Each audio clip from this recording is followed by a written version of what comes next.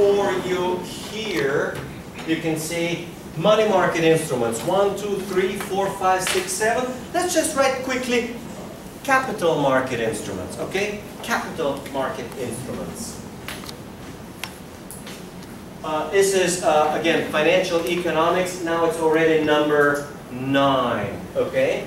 Financial economics, number nine, capital market instruments.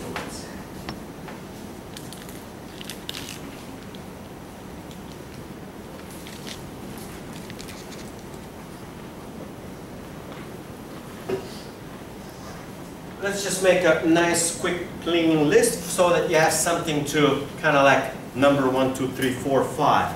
And number one will be treasury. So number one.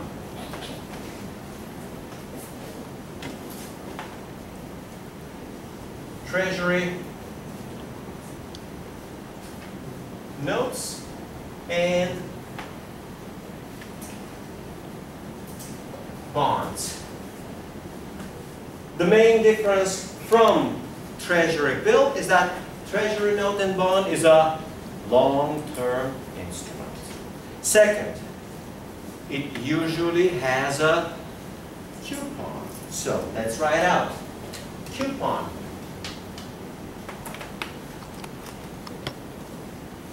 Because it's a long-term instrument, has a very, very, very high interest rate risk.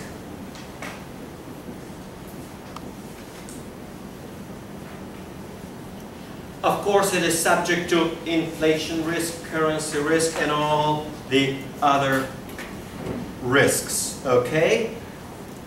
Maturity between 2 and 30 years, okay? That's it. Number two.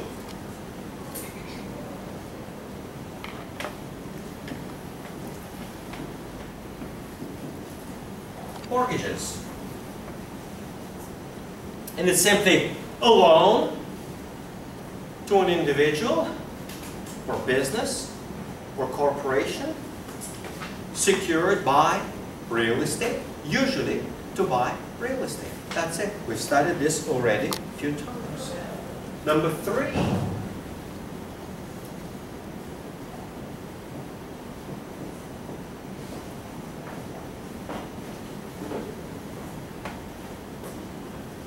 municipal bonds. We already studied this before. It is simply a bond issued by a local government, like a state or municipality. That's all there is to it.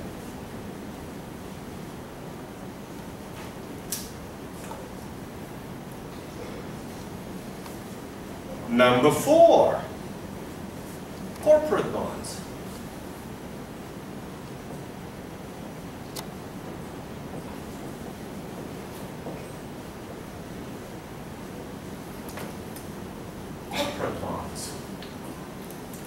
is simply bond issued by a corporation.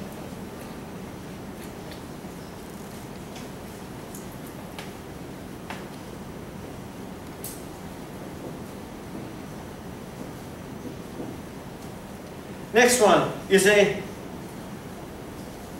lease. Uh, they actually mean, because there are two type of leases, one is called operating lease, the other one is called capital lease they here really mean to say capital lease. And capital lease is effectively very similar in economic nature to a loan for the purchase of equipment.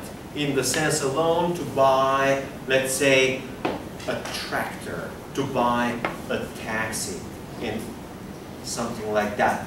In a lease, and here's now where I'm trying to explain the difference. Legally, legally, the lender remains the owner of the asset, legally. So, the bank will like lend you 30,000.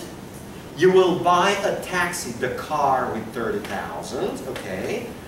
But you will use the car, you will have the option to buy after five years. You'll be repaying it, or when you pay it off, the car becomes yours. But technically and legally, while you're paying the lease, the car is in the name of the lender. Okay, that's very important. It simply means you stop paying your lease payment, the bank comes and takes their car. It's their own car. They don't have to go through courts, they don't have to go through complications. They all probably already have the key. They just come in, get the car, and that's the end of the story. It's their car anyway, okay?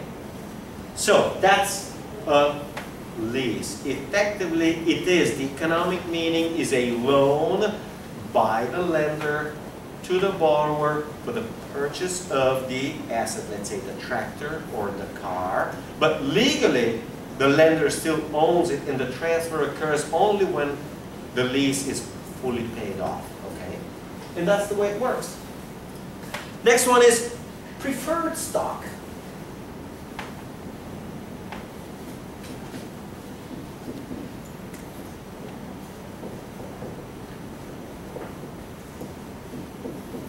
Well, if you got a preferred stock, it simply means that the corporation guarantees you a particular dividend payment on that particular stock and common stockholders cannot get any dividend until the preferred gets paid. Okay? So they get the preferred payment on the dividend. Okay? And usually might say 7% dividend. Okay? And 7% on the par value, they're going to be paying you $2 dividend. And that's it. Hello. We're still having class. We haven't finished yet. Okay? So, that's preferred stock. And now we get to number seven.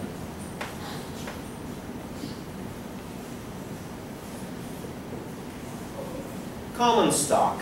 In common stock will be share of ownership. We already studied that.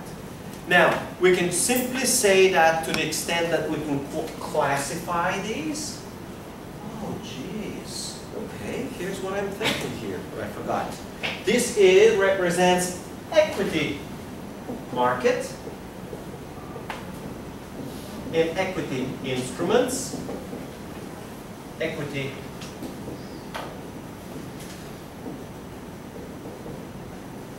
instruments, and these are mostly debt instruments.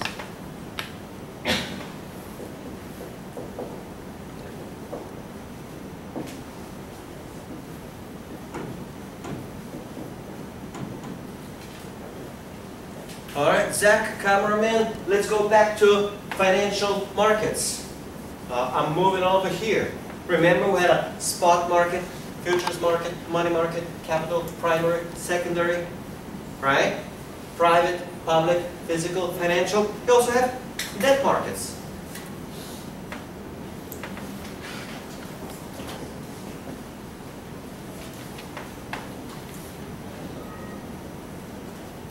Definition is a financial market where debt instruments are traded. We also like to say where fixed income instruments are traded, okay? Both are good. And the other one is called equity markets.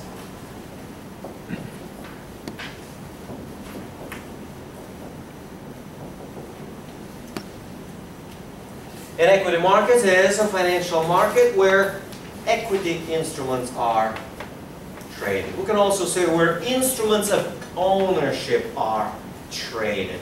Sometimes, instead of equity markets, they have another simple name, which is pretty much exactly the same. They simply call it stock market.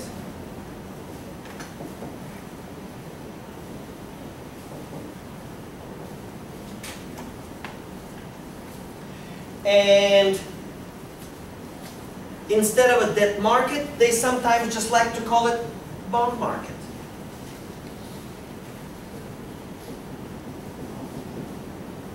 Which is, as we studied already, exactly the same as fixed income market.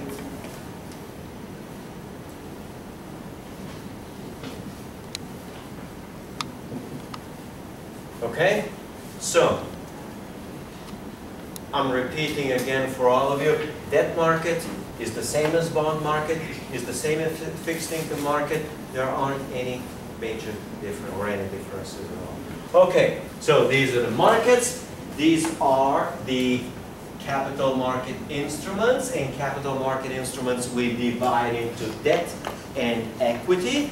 In between debt and equity, we have one special type which I covered early on. Let me write it in red over here. It's called hybrid instruments.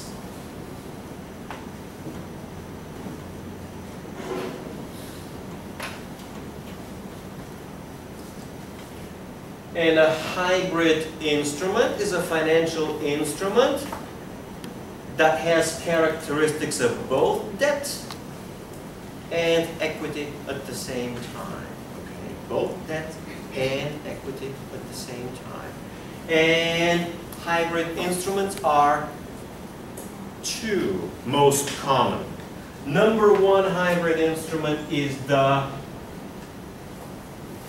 preferred stock because the preferred part gives you a fixed dividend, okay? And the other one, I'll have to kind of like squeeze it in here and I'll write it in blue just to make it different so because it's getting messy. It's called convertible bond. Convertible bond. So,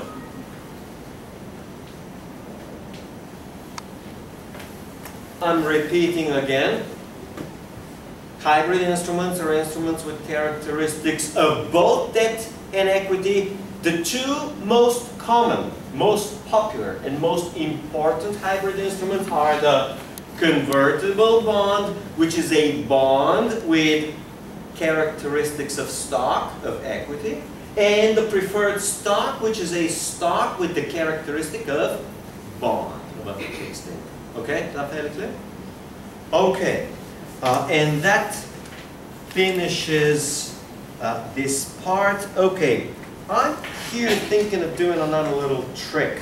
Rather than get financial institutions, which can take a full hour, I can cover here on page 128, so we can finish for today without beginning financial institutions, and next time we can cover in great detail properly financial institutions.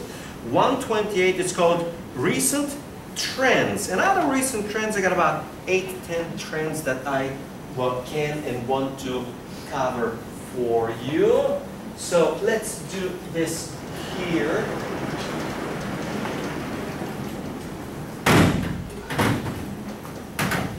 Before we get to institutions, so that you need to understand What's been going on in recent years in financial markets, institutions, and instruments? So, trends.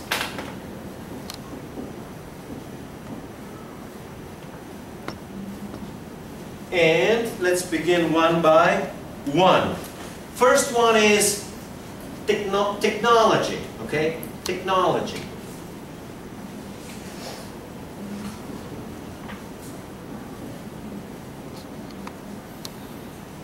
Everything in financial market today is done with computers. Everything's done electronically. You can make an electronic order, you can buy electronically, sell electronically. You have uh, electronic trading platforms, okay? You have everything's done with technology. Now, people love to use their iPhone to buy stocks, to sell stocks. They use their iPhone, they connect to their online broker, they make an online order, they have an online order. So technology and let's add another keyword, computerization, computerization.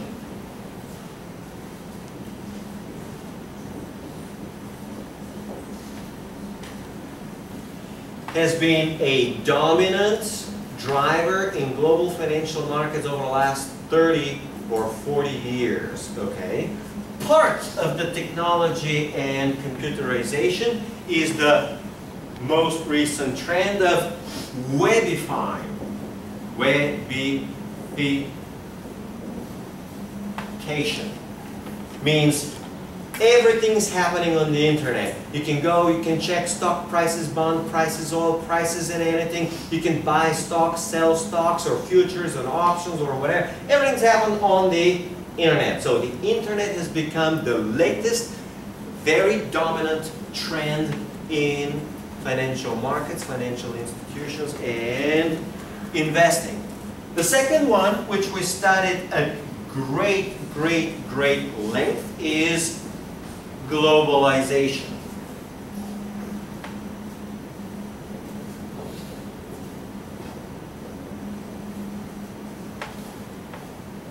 Competition is global. You have global financial centers. Let's repeat those financial centers again. New York, London, Tokyo, Singapore, Hong Kong, uh-uh, new one, Shanghai, okay? Rising and for sure to rise above most of the others, okay? So globalization also means more in transaction, inter international transactions, like more international sales, more international lending, more international buyers, more international sellers. As soon as the size of transaction goes up, for example, uh, let's say Acer wants to make a $5 billion investment, they can't sell it $5 billion here. They gotta sell it globally. They're gonna use markets in Hong Kong, in Singapore, in Tokyo, and they're gonna be selling in a lot of different ways. So globalization is extremely important modern trend over the last 20 or 30 years, and we studied it as part of the global financial crisis. When we studied as a global financial crisis, we had a special part to globalization which we called interconnectedness or interdependence.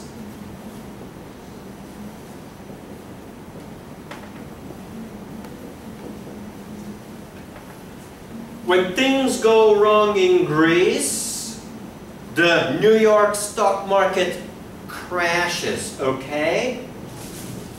In 1997, the global financial crisis, or the Asian financial crisis here, like in Thailand, Indonesia, Malaysia, Taiwan, later on Korea, showed you that things are related. One country falls, which was number one Thailand, and just a few weeks later the next country falls, and then the next one. And then six months later, out of the blue, Russia falls, and then Argentina falls on the other side of the world. And then you have a major hedge fund in the United States, which what's called long-term capital management, if it goes bankrupt, could easily bring down the U.S. financial system. So things are connected because of globalization, okay? Now, because of globalization, we have one other extremely important trend which we've been seeing during the Asian financial crisis in 97, 98, and especially in the last three or four years, we call it contagion.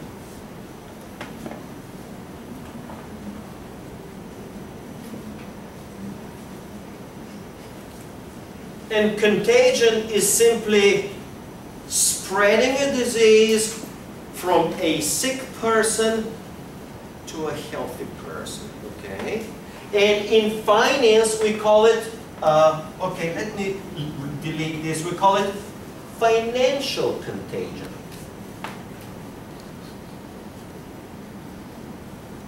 Or simply contagion, where crisis spreads from one country to the next country.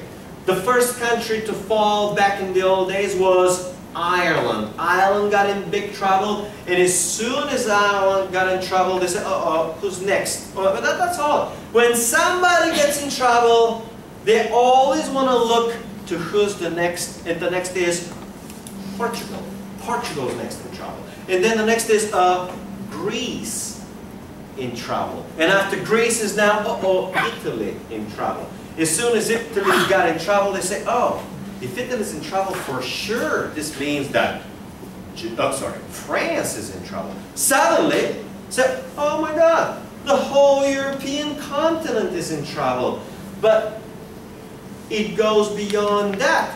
If Europe is in trouble, this means that soon enough, China's going to be get in trouble because China is selling all their stuff to Europe and of course the US. Okay, so well, but if China's in trouble, Taiwan's in trouble. Okay, so you see how the problem, meaning contagion, basically means that a problem or a crisis is spreading from one market to the next and from one economy to the next economy. And that's been very common and important trend in the last decades, okay? Let's see what else we have. Number three.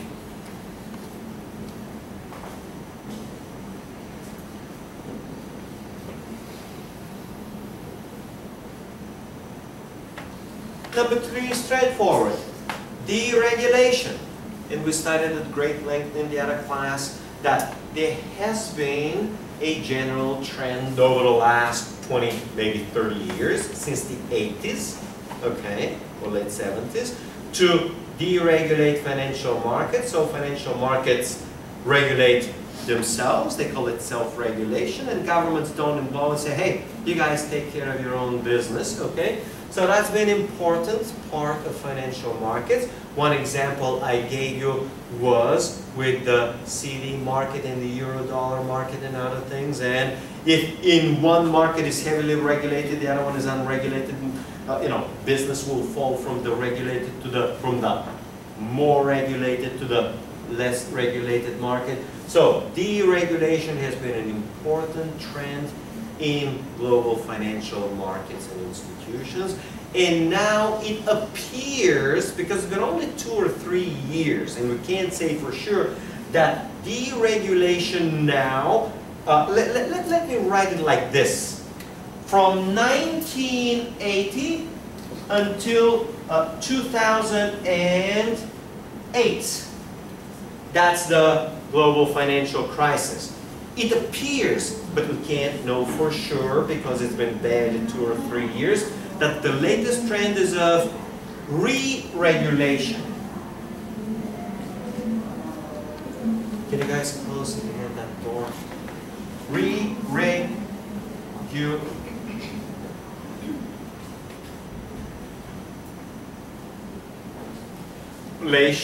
which is a trend of regulating more or reintroducing more regulation in the market. So deregulation is lowering regulation, re-regulation is increasing regulation in financial markets. Next one. Oh yeah, with deregulation, number four is competition.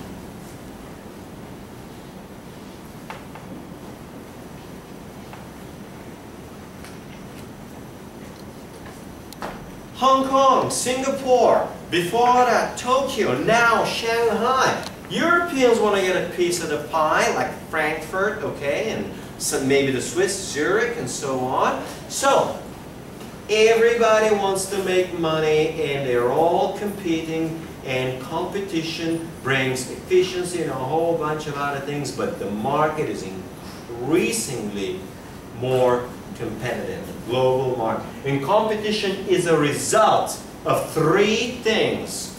The first is deregulation. As long as governments regulate less, there's going to be obviously more competition.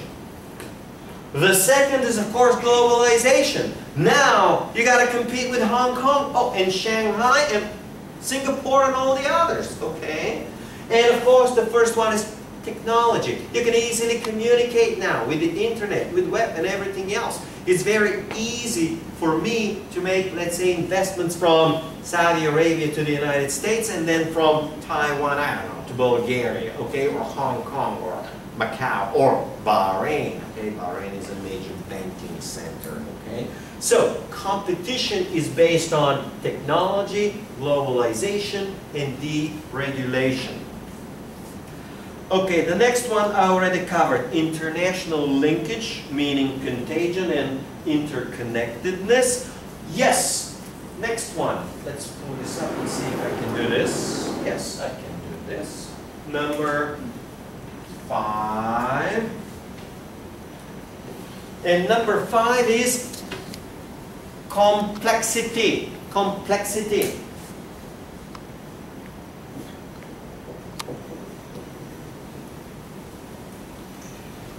Financial instruments get more and more and more complex with more features, with more options, with backup lines, with insurance, credit default swaps, counterparties. So everything gets extremely complex.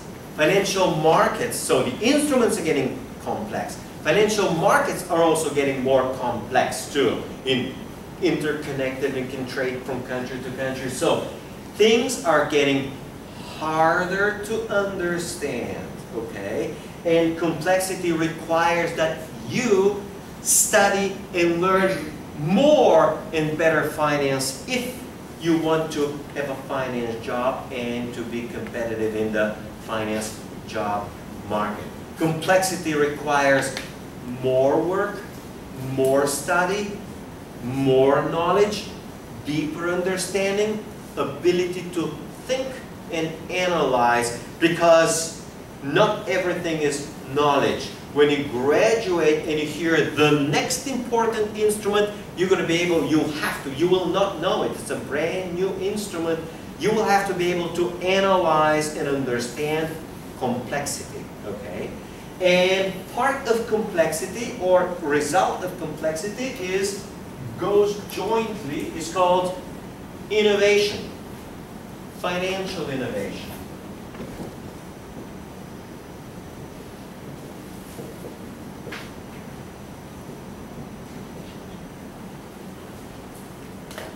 In financial innovation has two, I mean, the theory of financial innovation is extremely complicated.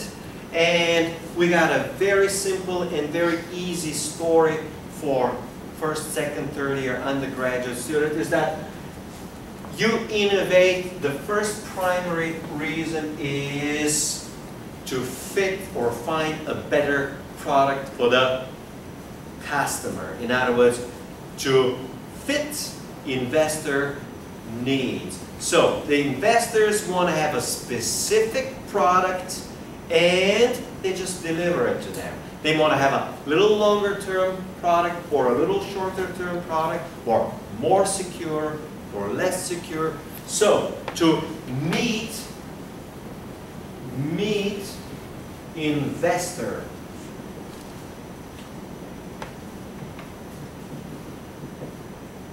needs, that's the first one because investors change over time. Sometimes they're younger, sometimes they're older, sometimes they want more risk and more return, other times they want more safety, okay? And the other one is regulation to avoid, sometimes we call it evade regulation, but here's to avoid regulation. Avoid means that you legally avoid it. In other words, you legally construct a new financial instrument which is not subject to regulation and therefore you can use it legally and there is no problem because there's no legal problem, okay? The example which we studied in the other course in great detail was exactly the CDS, credit default swap. And credit default swap was an unregulated market. Of course, they, it wasn't regulated and they wanted it unregulated and they lobbied to keep it unregulated. But that's a great financial innovation that was you know, effectively avoided regulations on capital and capital requirements. The trick was you can write insurance without the required capital. That was beautiful for the bankers while it worked and while they connected the collected the insurance premium. When these blew up, they didn't have the capital, they blew up. So innovation is mostly to meet needs and to avoid regulation. Seven, speed.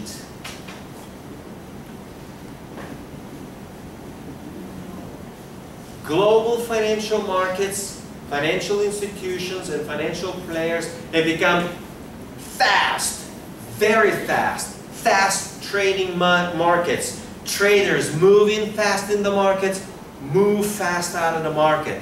They say, we need $5 billion. They say, no problem, give us three days, okay? So they can raise money quickly, issue securities quickly, they buy, sell quickly, extremely fast. Associated or caused or uh, allowed to happen by technology and computerization allows for lightning fast speed. Another characteristic is, ah, try and see how to make this uh, big. Okay, we'll write it. Conglomerates. Conglomerates.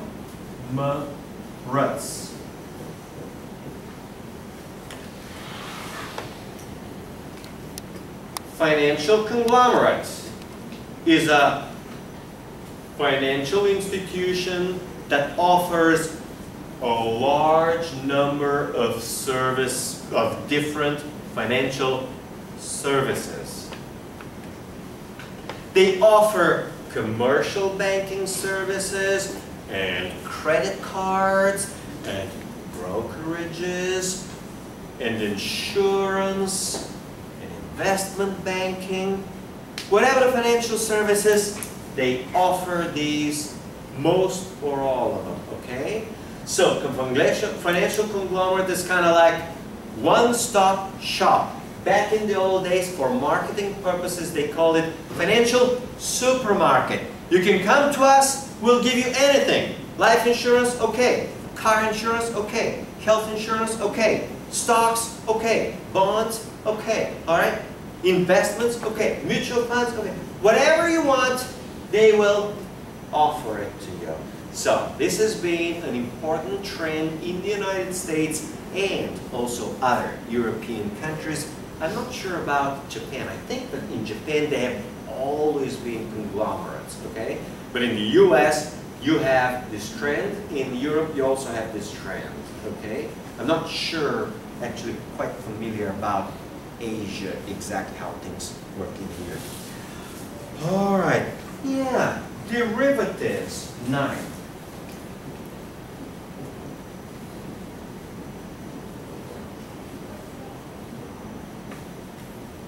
Recent decades, the last two or three decades, have resulted in phenomenal growth of derivatives. Derivatives have grown thousands of times, tens of thousands of times, from a tiny little market to a beast that is bigger than all other markets taken together, which, when it collapses, will collapse the whole global financial system eventually, all right? It has grown like many, many, many times bigger than all other markets taken together, okay? In derivatives, carry with them phenomenal leverage,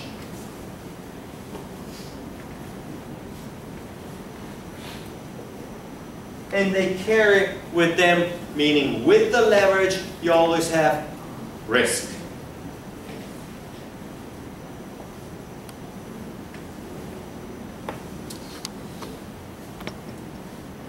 Now let's define a brand new term which is not uh, usually uh, used in finance. Let's just use the term uh, and explain what is because we study risk, like 10 different types of risk. Let's call one more, financial risk.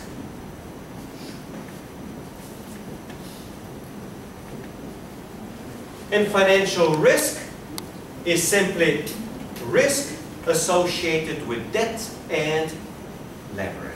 Okay? So debt and leverage cause or create or increase financial risk. Okay? So back to derivatives. Modern derivatives have resulted in the increase of financial risk in the global financial markets and global financial institutions have rising financial risk. And number 10, the last one is to complete for today, speculation.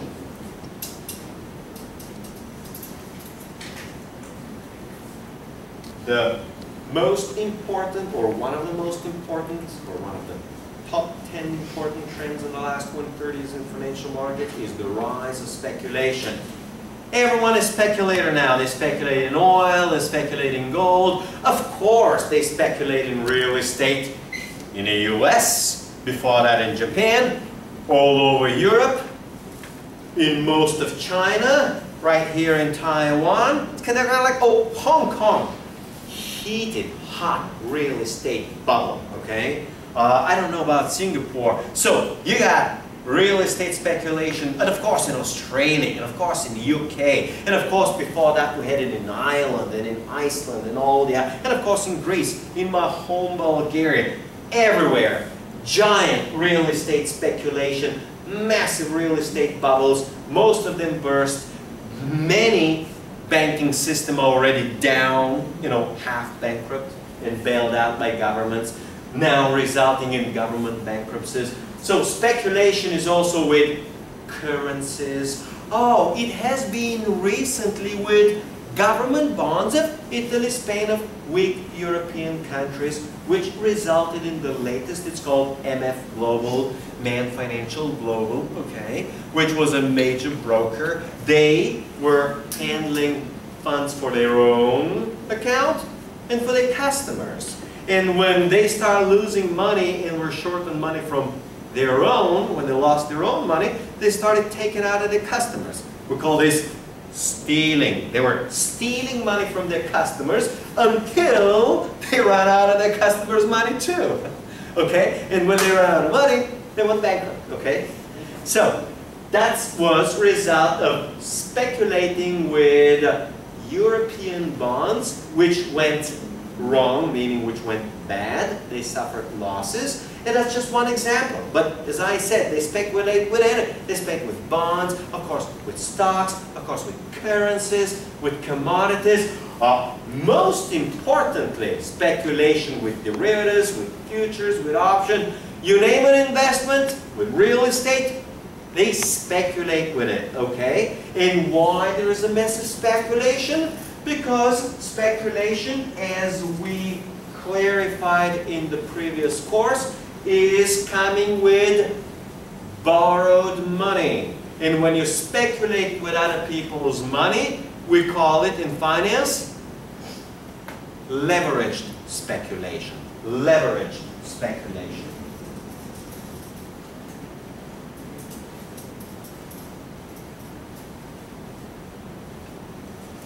So leverage speculation is speculating in the markets with other people's money, or we call it with leverage, and the leverage may be also in the form of futures, of options, of derivatives, and so on. And these are the top 10 most important trends in global financial markets, let's say over the last 30 years and up to the point of the global financial crisis in 2008.